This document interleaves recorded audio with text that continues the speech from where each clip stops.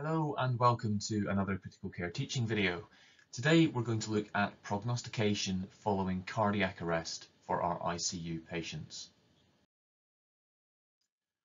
First of all, we'll take a look at the problem we face when trying to prognosticate, and then we'll look at various methods of prognostication and the timing at which those methods can be applied.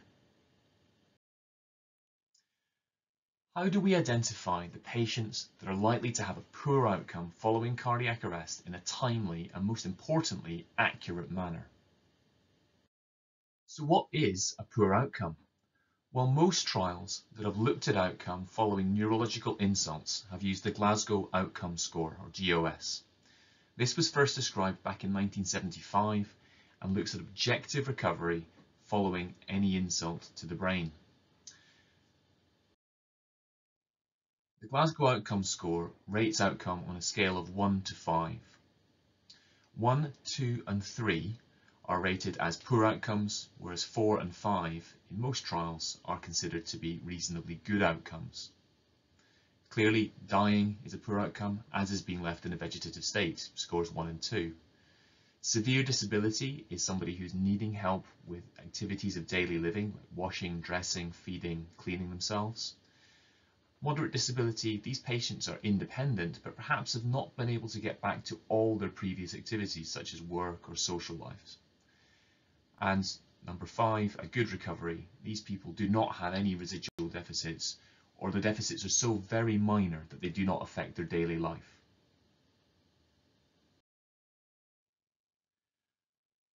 Our patients can't speak for themselves and therefore we rely on previously expressed wishes and the family to aid in decision making about what a good and bad outcome for a specific patient is.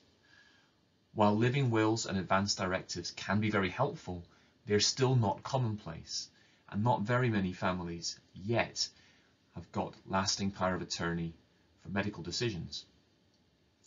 Some families will have discussed these issues, but in my experience, many have not and this puts enormous pressure on families at a time of enormous stress and requires very careful exploration by experienced members of the critical care team.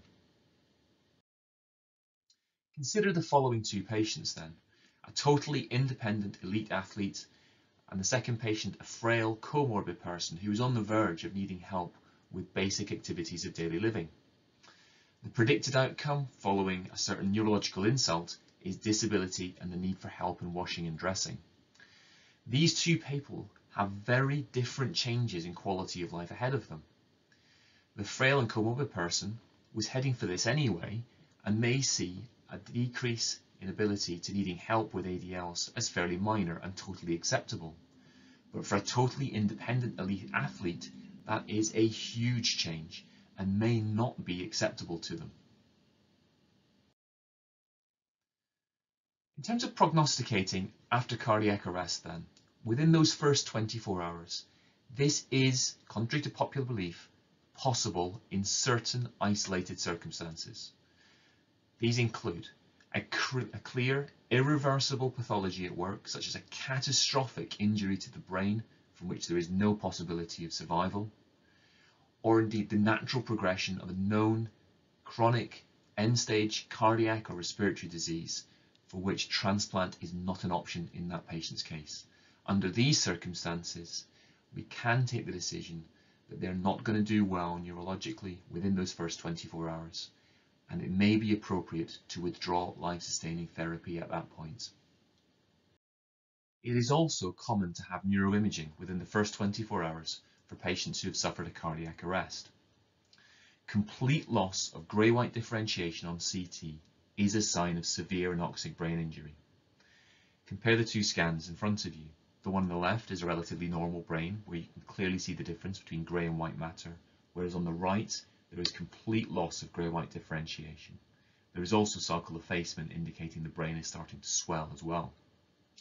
However, neuroimaging on its own should not be relied upon to make a decision about whether or not to continue caring for a patient, even if you do think they've got a severe brain injury it's important to take the entire picture together. The clinical assessment and our best estimates of what would be an acceptable outcome for that patient are vital decision-making tools. It is very common for families to ask very soon after arrival on critical care, what are my relatives' chances? How are they going to do? It is possible to make some assessment of this after you've achieved some cardiorespiratory stability using the Pittsburgh cardiac arrest categories. If you find your patient is awake or localizing to the tube, there is an 80% chance of survival with a good neurological outcome. If your patient's comatose but is not suffering any shock or severe respiratory failure, that number falls to 60%. Comatose with shock, which they define as more than 0.1 mics per kilo per minute of noradrenaline or adrenaline by infusion, the chance of a good neurological outcome falls quite dramatically to just 30%. Whereas if, after achieving cardiorespiratory stability following an arrest, your patient is comatose with no gag, cough, or pupillary light reflexes, the chances are just 10%. While those numbers are useful, they don't tell you exactly what's going to happen to the patient in front of you. Even if your patient is in that category 4 with a 10% chance of survival, with a good neurological outcome, you can't tell whether or not they're in that 90% group who are going to do badly or they're in that 1 in 10 who's going to have a good outcome. Over the first couple of days, neurophysiological testing can be of use. EEG, looking for the absence of normal background wave activity, is a sign of poor neurological outcome. And that's a very sensitive sign of poor neurological outcome. In studies, it's been well in excess of 95%. Burst suppression is something that's often reported following cardiac arrest, but is not considered to be a useful sign for prognostication. Evoked potentials can also be used, typically around day 3 to 5. Loss of the N20 spike in response to stimulation of the median nerve is associated with a more than 99% chance of a very poor neurological outcome. However, not all hospitals have access to on-demand neuro neurophysiological testing, and very few will have access to on-demand um, evoked potential testing, especially in a busy intensive care unit.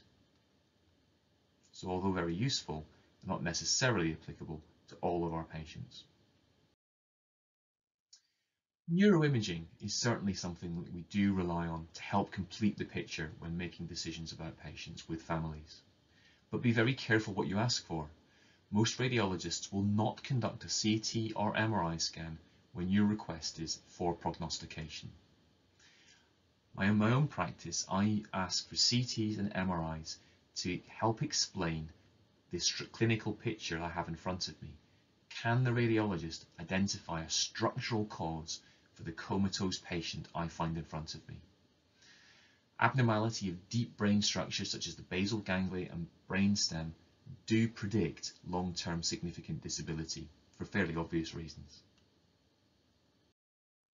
Blood tests may also become increasingly useful in the future. Neurofilament light chain is a neuronal cytoplasmic protein which is expressed in large caliber myelinated axons.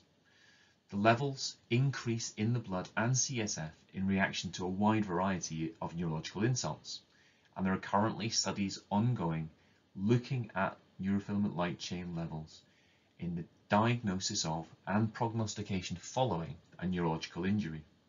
The exact timings for these tests and the threshold levels for testing are currently under investigation. Ultimately, time is one of the most powerful prognostic tools available to us. A patient not waking up on day two following a cardiac arrest is very different from patient not waking up on day 10.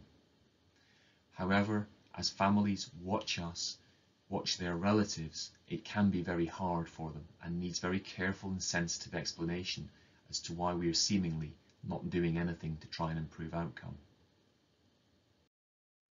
A few final thoughts then. While many of the methods described so far may be of use in predicting outcome in a population of cardiac arrest patients, None are 100% sensitive and specific for the patient that you have in front of you at the bedside. I would recommend that when making prognostic decisions, you should do this on the basis of serial clinical assessment over several days, with some neuroimaging and or neurophysiology testing in select cases, and with careful and sensitive exploration of the family's perception of the patient's wishes. Thank you very much for listening. If you do have any questions or comments, please leave them down below, and I hope to see you on the next video.